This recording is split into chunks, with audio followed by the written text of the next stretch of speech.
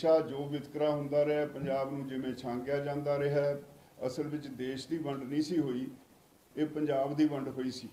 ਉਦੋਂ ਪੰਜਾਬ ਛਾਂਗਿਆ ਗਿਆ, ਉਹਦੇ ਬਾਅਦ ਇਹਦੇ ਵਿੱਚੋਂ ਹਿਮਾਚਲ, ਹਰਿਆਣਾ ਕੱਢ ਦਿੱਤਾ ਤੇ ਹੁਣ ਚੰਡੀਗੜ੍ਹ ਸਾਡੀ ਰਾਜਧਾਨੀ ਹੈ ਔਰ ਇਹ ਜਦੋਂ 1966 ਵਿੱਚ ਰੀਆਰਗੇਨਾਈਜੇਸ਼ਨ ਹੋਈ ਹੈ, ਉਸ ਵੇਲੇ ਫੈਸਲਾ ਸੀ ਵੀ ਹਰਿਆਣੇ ਵਾਲੇ ਆਪਣੀ ਜਗ੍ਹਾ ਲੱਭਣਗੇ ਵਿਦਿਨ 5 ਇਅਰਸ ਤੇ ਉੱਥੇ ਉਹ ਆਪਣੀ ਰਾਜਧਾਨੀ ਬਣਾ ਲੈਣਗੇ, ਉਦੋਂ ਤੱਕ ਉਹ ਚੰਡੀਗੜ੍ਹ ਟਿਕੇ ਰਹਿਣਗੇ। ਪਰ ਕੇਂਦਰ ਸਰਕਾਰ ਨੇ ਬਦਨੀਤੀ ਨਾਲ ਇਹਨੂੰ ਯੂਟੀ ਬਣਾ ਕੇ ਪਰਮਨੈਂਟ ਯੂਟੀ ਬਣਾਉਣਾ ਚਾਹੁੰਦੇ ਨੇ ਔਰ ਉਹਨਾਂ ਨੇ ਇੱਥੇ ਹਰਿਆਣੇ ਨੂੰ ਵਿਧਾਨ ਸਭਾ ਦੀ ਬਿਲਡਿੰਗ ਦੇਣ ਦੇ ਬਹਾਨੇ ਇੱਥੇ ਇੱਕ ਨਵਾਂ ਰੇੜਕਾ ਖੜਾ ਕਰ ਦਿੱਤਾ। ਤੋਂ ਮੈਂ ਸਮਝਦਾ ਵੀ ਸਾਡੇ ਪੋਲੀਟੀਕਲ ਲੋਕਾਂ ਦਾ ਫਿਰ ਦੋਸ਼ ਹੈ, ਜਿਸ ਤਰ੍ਹਾਂ ਇਹ ਗੱਲ ਜਦੋਂ ਚੱਲੀ ਸੀ ਸਾਡੇ ਮੁੱਖ ਮੰਤਰੀ ਨੂੰ, ਜਾਂ ਤਾਂ ਉਹਨੂੰ ਸਮਝ ਦੀ ਘਾਟ ਹੈ ਜਾਂ ਕੋਈ ਉਹਦੇ ਤੇ ਦਬਾਅ ਹੋਏਗਾ, ਜਿਹੜਾ ਉਹਨੇ ਕਿਹਾ ਵੀ ਚਲੋ ਜੀ, ਇਹਨਾਂ ਨੂੰ ਵੀ ਦੇ ਦਿਓ, ਜ਼ਮੀਨ ਸਾਨੂੰ ਵੀ ਦੇ ਦਿਓ। ਉਹਨੇ ਉਹਦੀ ਡਿਊਟੀ ਸੀ, ਉਹ ਕਹਿੰਦਾ ਵੀ ਚੰਡੀਗੜ੍ਹ ਪੰਜਾਬ ਦਾ ਪੰਜਾਬ ਦੇ ਪਿੰਡਾਂ ਨੂੰ ਉਜਾੜ ਕੇ ਵਸਾਇਆ ਗਿਆ ਇੱਥੇ ਅਸੀਂ ਜਗ੍ਹਾ ਇਹਨਾਂ ਨੂੰ ਨਹੀਂ ਦੇ ਸਕਦੇ, ਬਹੁਤ ਦੇਰ ਤੋਂ ਬੈਠੇ ਆ ਇਹ ਆਪਣੀ ਰਾਜਧਾਨੀ ਵਾਸਤੇ ਜਗ੍ਹਾ ਲੱਭਣ। ਕਿਤੇ ਹਰਿਆਣੇ ਦੇ ਵਿੱਚ ਜਿੱਥੇ ਇਹ ਚਾਹੁੰਦੇ ਆ, ਉੱਥੇ ਆਪਣੀ ਰਾਜਧਾਨੀ ਬਣਾਉਣ। ਪਰ ਇਹਦੀ ਬਜਾਏ ਕਿਉਂਕਿ ਇਹਨੇ ਕਹਿਤਾ ਵੀ ਸਾਨੂੰ ਕੋਈ ਇਤਰਾਜ਼ ਨਹੀਂ ਜੀ ਇਹ, ਸਾਨੂੰ ਵੀ ਜਗ੍ਹਾ ਦੇ ਦਿਓ ਅਸੀਂ ਵੀ ਆਪਣੀ ਹੋਰ ਬਣਾ ਲਾਂਗੇ ਉਹਨਾਂ ਨੂੰ ਵੀ ਜਗ੍ਹਾ ਦੇ ਦਿਓ। ਹੁਣ ਉਹਨਾਂ ਨੇ ਇੱਥੇ ਜਗ੍ਹਾ ਲੈਣ ਵਾਸਤੇ 12 ਏਕੜ ਜ਼ਮੀਨ ਉਹ ਪੰਚਕੂਲੇ 'ਚ ਦੇ ਰਹੇ ਨੇ। ਤੇ ਜੇ ਉਹਨਾਂ ਦਾ ਹੱਕ ਹੁੰਦਾ ਤਾਂ ਉਹਨਾਂ ਨੂੰ 12 ਏਕੜ ਦੇਣ ਦੀ ਲੋੜ ਨਹੀਂ ਸੀ ਕਿਉਂਕਿ ਚੰਡੀਗੜ੍ਹ ਪੰਜਾਬ ਦੇ ਪਿੰਡਾਂ ਨੂੰ ਉਜਾੜ ਕੇ ਵਸਾਇਆ ਗਿਆ। ਇਸ ਕਰਕੇ ਪੰਜਾਬ ਦਾ ਇਹਦੇ ਤੇ ਹੱਕ ਹੈ। ਬਣੀ ਉਹ ਚੰਡੀਗੜ੍ਹ ਪੰਜਾਬ ਦੀ ਰਾਜਧਾਨੀ ਵਜੋਂ ਸੀ। ਆਜ਼ਾਦੀ ਤੋਂ ਬਾਅਦ ਸਾਡੀ ਰਾਜਧਾਨੀ ਸ਼ਿਮਲਾ ਹੁੰਦੀ ਸੀ। ਸ਼ਿਮਲੇ ਤੋਂ ਚੰਡੀਗੜ੍ਹ ਸ਼ਿਫਟ ਕੀਤੀ। ਤੇ ਹੁਣ ਇਹ ਰਾਜਧਾਨੀ ਨੂੰ ਵੀ ਸਾਡੇ ਕੋਲੋਂ ਪਰਮਨੈਂਟਲੀ ਹੋਣਾ ਚਾਹੁੰਦਾ ਕੇਂਦਰ ਤੇ ਸਾਡੀਆਂ ਪੋਲੀਟੀਕਲ ਪਾਰਟੀਆਂ ਸਿਰਫ ਬਿਆਨਾਂ ਤੱਕ ਸੀਮਤ ਨੇ, ਇਹਦੇ ਤੇ ਕੁਝ ਕਰਨ ਲਈ ਤਿਆਰ ਨਹੀਂ। ਤੋਂ ਮੈਂ ਤੁਹਾਡੇ ਰਾਹੀਂ ਇਹ ਸਪਸ਼ਟ ਕਰ ਦੇਣਾ ਚਾਹੁੰਦਾ ਕੇਂਦਰ ਸਰਕਾਰ ਨੂੰ ਤੇ ਹੁਣ ਹੋਰ ਧੱਕਾ ਨਹੀਂ ਚੱਲਣਾ।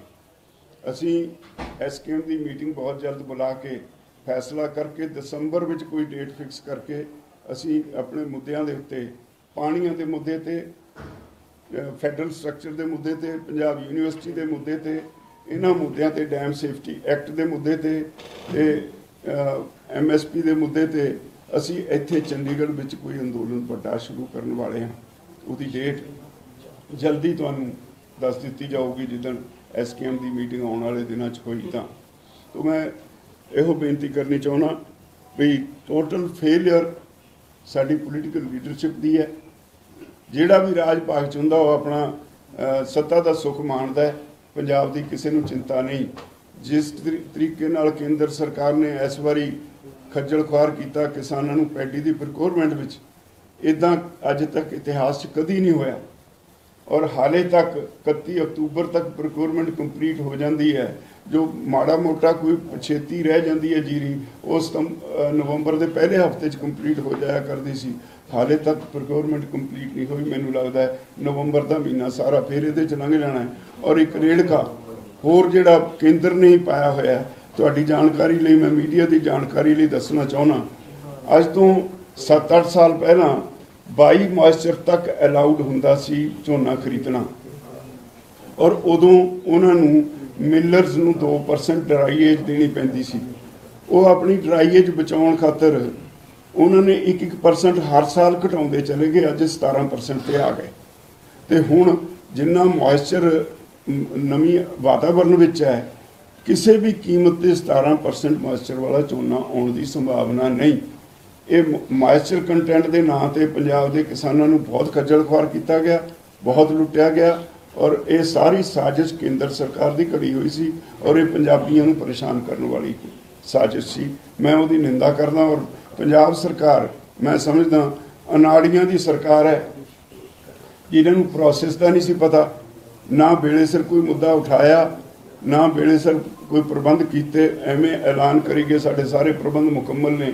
ਪ੍ਰਬੰਧਾਂ ਪ੍ਰ- ਪ੍ਰਬੰਧਾਂ ਦੀ ਪੋਲ ਸਾਰਿਆਂ ਦੇ ਸਾਹਮਣੇ ਖੁੱਲ ਗਈ ਹੈ।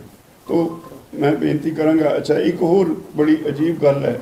ਹੁਣ ਗੰਨੇ ਦੀ ਫਸਲ, ਉਹਦਾ ਕ੍ਰਸ਼ਿੰਗ ਸੀਜ਼ਨ ਇਹਨਾਂ ਦਿਨਾਂ ਸ਼ੁਰੂ ਹੋ ਜਾਂਦਾ ਹੈ। ਇਹਨਾਂ ਨੇ 25 ਤਰੀਕ ਤੋਂ ਸ਼ੁਰੂ ਕਰਨ ਦਾ ਕੀਤਾ ਹੈ। ਹਾਲੇ ਤੱਕ ਉਹਦੀ ਸਟੇਟ ਐਡਵਾਈਜ਼ਰੀ ਪ੍ਰਾਈਸ ਇਹਨਾਂ ਨੇ ਅਨਾਉਂਸ ਨਹੀਂ ਕੀਤੀ। ਪਲੀ ਇਹ ਲੈਂਦੇ ਨੇ, ਭਾਈ ਜੀ ਇਲੈਕਸ਼ਨ ਕਮਿਸ਼ਨ ਤੋਂ ਇਜਾਜ਼ਤ ਲੈਣੀ ਪਏਗੀ। ਮੈਂ ਇਲੈਕਸ਼ਨ ਕਮਿਸ਼ਨ ਨੂੰ 2 ਦਿਨ ਪਹਿਲਾਂ ਮਿਲਿਆ। ਉੱਥੇ ਕੋਈ ਚਿੱਠੀ ਇਹਨਾਂ ਨੇ ਪਰਮਿਸ਼ਨ ਲੈਣ ਵਾਸਤੇ ਨਹੀਂ ਲਿਖੀ। ਪੰਜਾਬ ਸਰਕਾਰ ਇੱਥੇ ਵੀ ਝੂਠ ਬੋਲੀ ਜਾਂਦੀ ਹੈ ਔਰ ਇਲੈਕਸ਼ਨ ਕਮਿਸ਼ਨ ਦਾ ਕੰਮ ਹੁਣ ਇਹ ਤੇ ਬਾਅਦ ਇਲੈਕਸ਼ਨ ਕੋਡ ਫਿਰ ਮਿਊਨਿਸਪੈਲਟੀਆਂ ਕਰਕੇ ਲੱਗ ਜੂ। ਇਹਦਾ ਮਤਲਬ ਗੰਨੇ ਦਾ ਭਾਅ ਮਿਥਣਾ ਹੀ ਨਹੀਂ। ਤੋ ਇਹ ਇਦਾਂ ਦੀ ਸਰਕਾਰ ਜਿਹਨੂੰ ਆਪਣੀਆਂ ਜ਼ਿੰਮੇਵਾਰੀਆਂ ਦਾ ਹੀ ਅਹਿਸਾਸ ਨਹੀਂ ਤੇ ਲੋਕਾਂ ਲਈ ਮੁਸ਼ਕਲਾਂ ਖੜੀਆਂ ਕਰਦੀ ਹੈ, ਤੇ ਨਾ ਤਾਂ ਗੰਨੇ ਦਾ ਭਾਅ ਅਨਾਉਂਸ ਕੀਤਾ, ਨਾ ਠੀਕ ਤਰ੍ਹਾਂ ਝੋਨਾ, ਝੋਨੇ ਦੀ ਖਰੀਦ ਹੋਈ ਤੇ ਸਗੋਂ ਉਲਟਾ ਇੱਕ ਨਵੇਂ ਟੈਸਟ ਵਿੱਚ ਪਾਤਾ। ਜਦੋਂ ਇਹ ਕਹਿਤਾ ਭਈ ਜੀ ਹਰਿਆਣੇ ਵਾਲਿਆਂ ਨੂੰ ਜੇ ਦਿੰਦੇ ਹੋ 10 ਏਕੜ ਤਾਂ ਸਾਨੂੰ ਵੀ ਦੇ ਦਿਓ। ਇਹਦਾ ਮਤਲਬ ਆਪਣਾ ਕਲੇਮ ਆਪੇ ਛੱਡ ਦਿਓ। ਤੋ ਇਹਨਾਂ ਇਸ਼ੂਜ਼ ਦੇ ਉੱਤੇ ਮੈਂ ਜਿਸ ਤਰ੍ਹਾਂ ਪਹਿਲਾਂ ਬੇਨਤੀ ਕੀਤੀ ਹੈ, ਅਸੀਂ ਬਹੁਤ ਜਲਦੀ ਥੋੜੇ ਦਿਨਾਂ ਵਿੱਚ ਐਸਕੇਐਮ ਦੀ ਮੀਟਿੰਗ ਸੱਦ ਕੇ ਡੇਟ ਅਨਾਉਂਸ ਕਰਾਂਗੇ ਔਰ ਵੱਡਾ ਇੱਕ ਮੋਰਚਾ ਲਾਇਆ ਜਾਏਗਾ